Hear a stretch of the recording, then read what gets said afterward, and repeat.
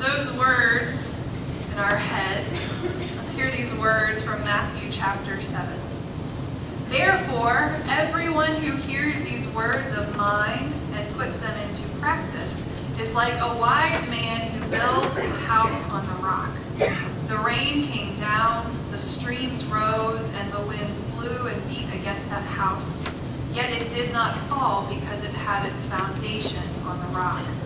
But everyone who hears these words of mine and does not put them into practice is like a foolish man who builds his house on sand. The rain came down, the streams rose, and the winds blew and beat against that house, and it fell with a great crash. When Jesus had finished saying these things, the crowds were amazed at his teaching, because he taught as one who had authority, and not as their teachers of the law. The word of God for the people of God. Let's pray. Oh God, we ask this morning that you would help us not simply to be hearers of your word, but that we would be doers of your word. We pray all of this in Jesus' name. Amen. So I'm not a big fan of the beach anymore now that I've gotten older because um, now I don't really like going in the water where I can't see my feet and I burn really easily and I don't like feeling hot and sweaty and getting sand everywhere. But when I was a kid, I loved going to the beach because at that point I wasn't afraid of going in the water. And I loved being out there. One of my favorite things to do was to build sand castles. Now my sand castles were never really any good. They were just kind of lumps of sand that I would dig a moat around, and sometimes I would I would dig a trail down to the water, so when the water would come in, it would kind of come in and, and fill up the moat. But I had a lot of fun building sand castles when I was a kid. Now, of course, it wouldn't be too long before either the tide would come in and wash it away, or sometimes I would I would um, not be happy with my creation, so I would preemptively destroy it by just kicking it over and, and starting a, a new sand castle. But I've always been impressed with um, those, those sand castle or sand sculpture contests that um, you sometimes see pictures of or that you might see on TV or maybe if you're lucky enough to see in person. And you see these, like, I don't know how they make them stay, um, how they have these elaborate castles or creations that are tall and they have these elaborate designs in them and they look really beautiful and they look really amazing. But no matter how amazing or how beautiful they look, it's only a matter of time before the tide comes in and washes them away, or maybe the wind starts to blow or it starts to rain, and ultimately those beautiful creations are washed away as if they've never existed. Now, when I was a kid, I liked going to the beach for vacation. But these days, I like traveling to various places in the world. And, and I love, love, love seeing places where there is rich history that goes back thousands of years. Nothing quite excites me quite as much as, as seeing an old building or an old cathedral. Or uh, most recently, when we were in Jerusalem, seeing the Temple Mount and the Wailing Wall, the Western Wall, and going up to that wall and touching it and knowing these stones have stood for thousands of years and they're still there. I can remember um, going to the ruins of Ephesus in Turkey, and, and even though, you know, there, most of the buildings were largely in ruins, they were still standing structures that had existed for thousands of years. In London, I would go to the Tower of London, which I just so much fascinating history there, but I would think, this place has stood for over a thousand years. And Westminster Abbey, this huge, towering cathedral that has stood throughout history and been a part of so many, um, so many moments in British history. All of these structures are built from the rock. Because if you want something that is going to last, that is going to endure, it has to be built from rock upon the rock. And so we come to Jesus' closing words of the Sermon on the Mount today. And he gives this parable and he says, Those who hear my words and do my words are like the wise builder who builds upon the rock. But those who only hear and don't put the word into action, they're like the foolish builder who builds upon the sand. As soon as the tide comes, it washes it away as if nothing has ever existed there. And so Jesus closes his Sermon on the Mount with this image. And Jesus has just told us a lot of stuff. Now, we started this series back in June sometime, I think. And so we've been through a lot. It's very rich and dense, this Sermon on the Mount. And Jesus tells us listen, everything I've told you, I hope that you have not only heard it, but that you are ready to act upon it. And so I want to refresh our memories of everything that Jesus has told us. So if you recall, the Sermon on the Mount starts out with the Beatitudes, with a word of blessing. And that particular Sunday, we talked about the idea of God's unconditional blessing that God gives before anything else. That before God even, before Jesus even starts talking about how we're to live, he says, First, I want you to know that you are loved, that you are blessed, that you are valuable in God's sight. If we are to hear that and make that our own, let that dwell in our hearts, then that should change how we see ourselves in relationship to God and ourselves in relationship to one another. Because if God loves us first, if God loves us unconditionally and offers us a blessing before anything else, then what do we have to fear? What do we have to worry about? What do we have to doubt about God's love for us? But if we hear those words, that also changes how we look and treat one another. Because if we recognize the same blessing God has extended to us is extended to all, then that changes how we look at and treat our neighbor, recognizing that they are given the same blessing that God gives to us. We're to be not just hearers of the word, but doers of the word.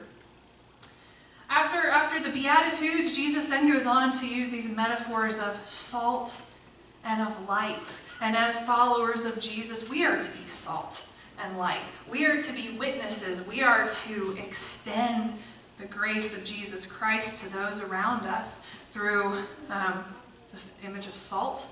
Uh, we spread the salt around to preserve, to give hope, to sustain.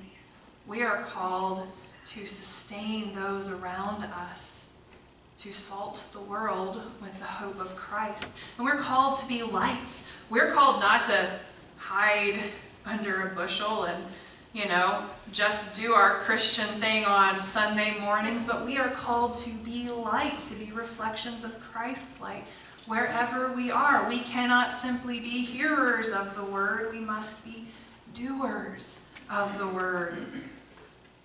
And then Jesus goes on this, this kind of extended section of talking about how we are to be in relationship with one another. He talks about what we do when we're angry with a brother or a sister.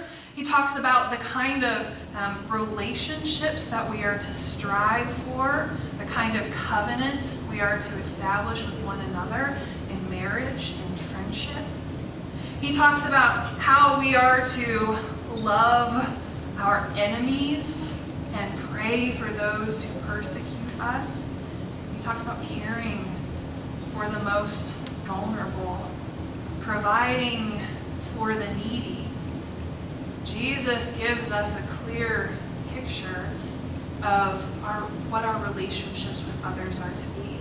And that it, they're not to be about serving self or whatever fits us best or whatever is convenient, but rather they're to be characterized by sacrificial love, of giving of ourself, of our resources, of what we have for our family, for our friends, for our neighbors, and even for our enemies. And Jesus says, don't just hear those words, live those words.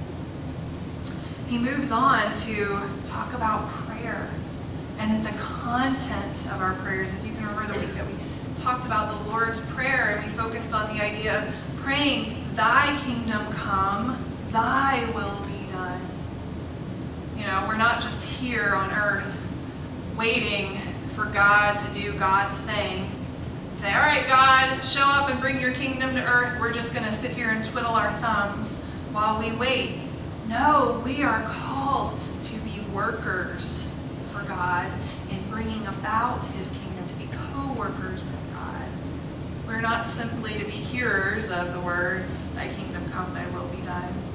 We're to be people who act in such a way to help bring about that kingdom of faith and hope and love. And we move on, and, and, it, and Jesus just goes on, and he continues about talking about where is our treasure? Where, where are our priorities? What do we truly worship? Is it money? Is it material things? Is it, is it, um, is it our own success? Is it how well we are liked by others? Or is it the things of God? Where our treasure is, there our heart will be. And while you're at it, don't worry about those things that might feel difficult in life. Don't spend your time resting or dwelling in anxiety, but rather trust me that I am with you always and that I will provide for your needs.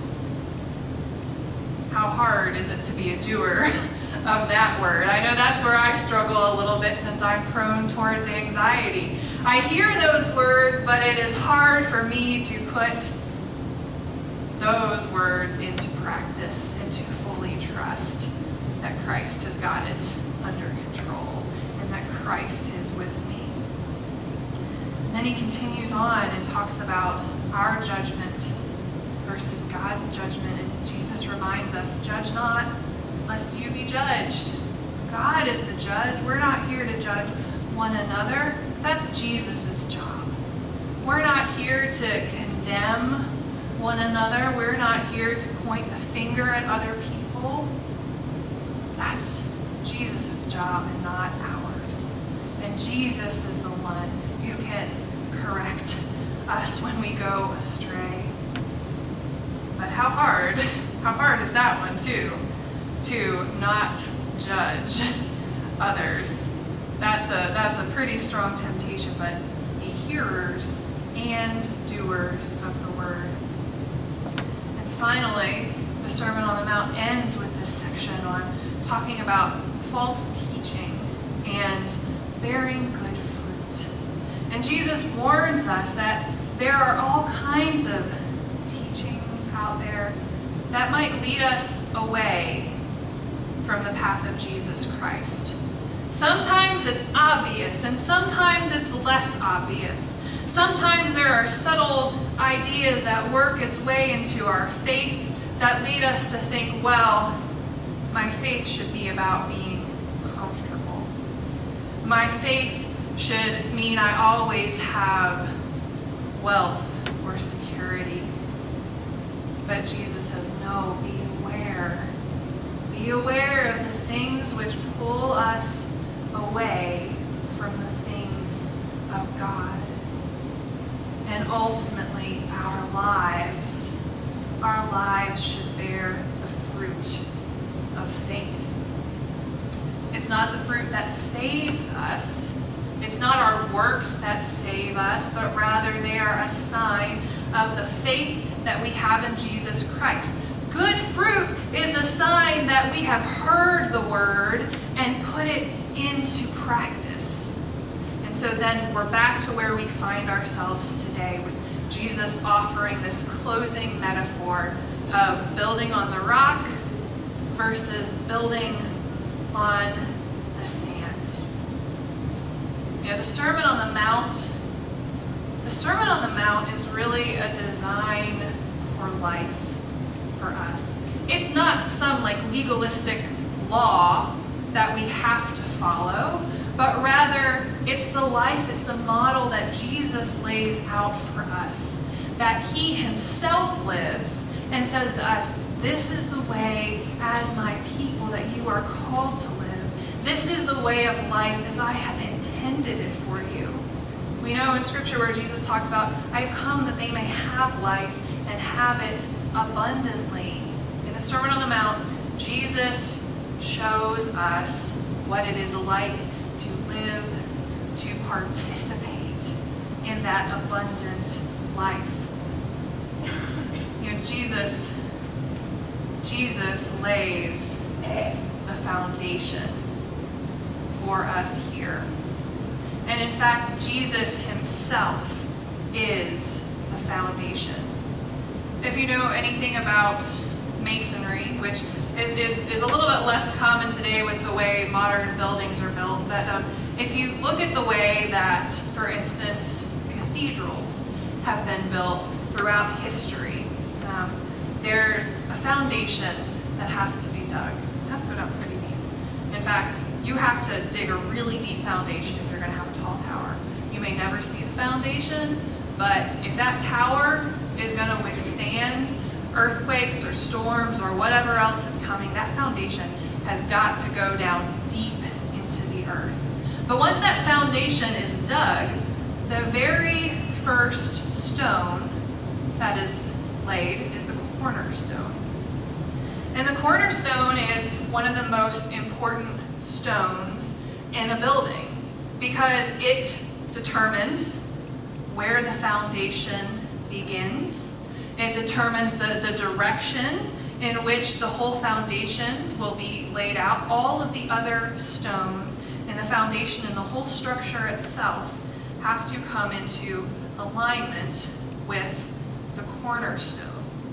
I mean, really, the cornerstone determines the position and the strength of the whole structure.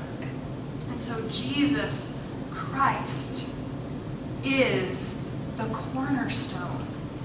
Because not only are these words of the Sermon of the Mount words that Jesus speaks, they're the words that he lives. They're the words that he embodies. And so when, when he says, build your house on the rock, he's telling all of us that if we want to stand firm in our faith and in God's kingdom, then we must come into alignment with the cornerstone, who is Jesus Christ.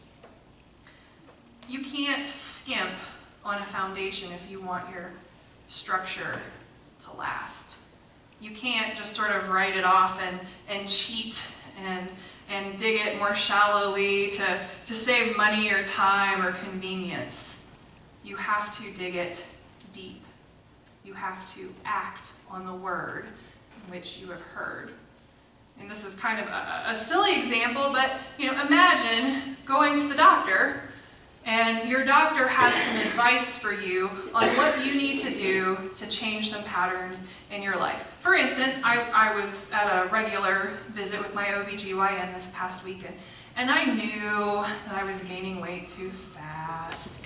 And I, you know, I kind of knew this and I knew what I needed to do. Like I could hear the words in my head of, of, of what I needed to do. And I've been having a sore back. And so I talked to my doctor about it. I said, you know, my back's still really hurting. And I know, I know my weight's getting away from me. Could you help me? And I basically told him, I said, please lecture me right now on all of the bad things that can happen if I don't get my weight in check because I needed some extra motivation.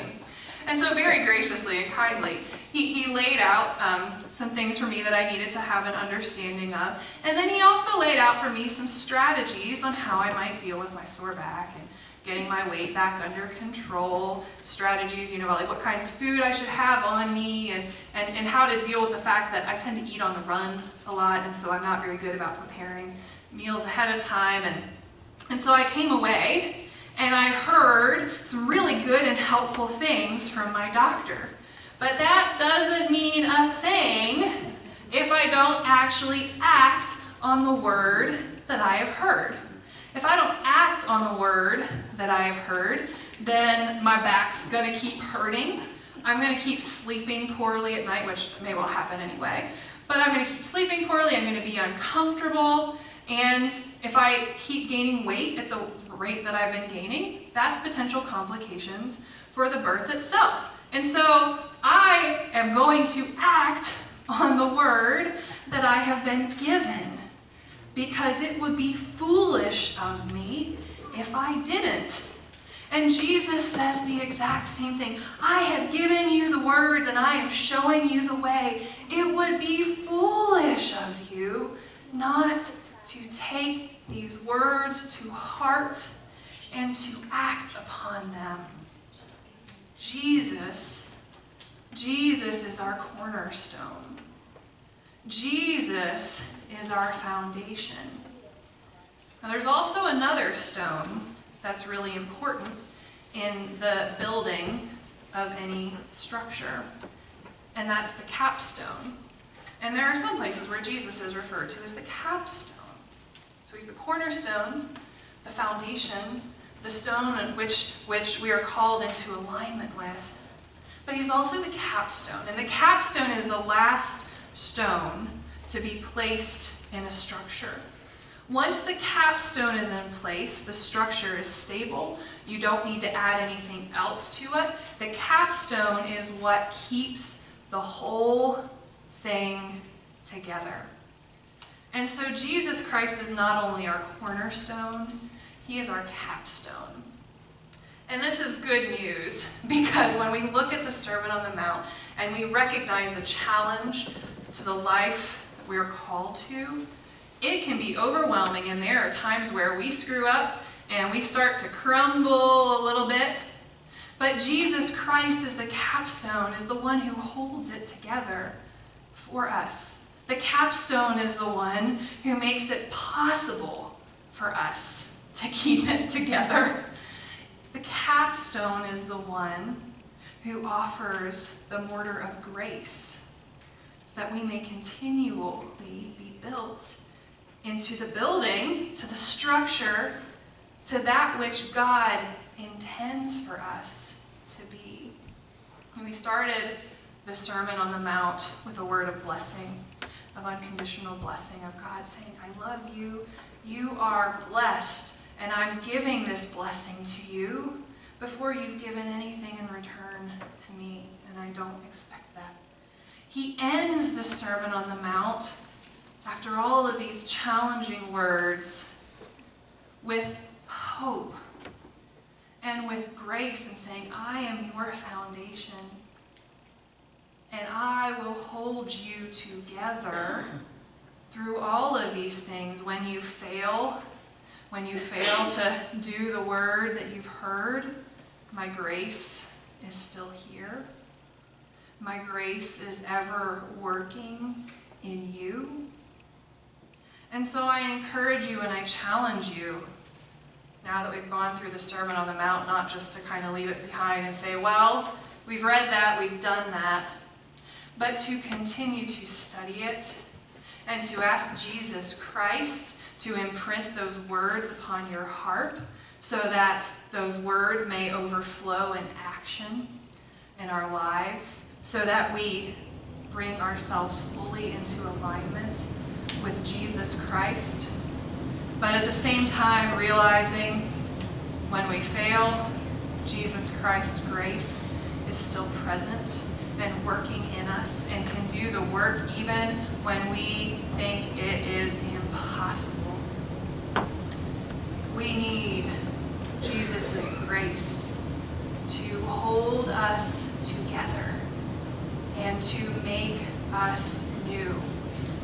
So that we stand not like the little sand castles that I would make as a kid, but so that we can stand firm like the wall of the Temple Mount that has been an enduring structure, standing firm, standing strong in the ways of Jesus.